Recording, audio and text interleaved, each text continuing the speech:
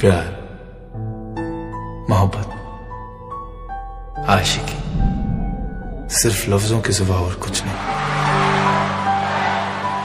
पर जब वो मिली, इन लफ्जों को मायने मिल गए।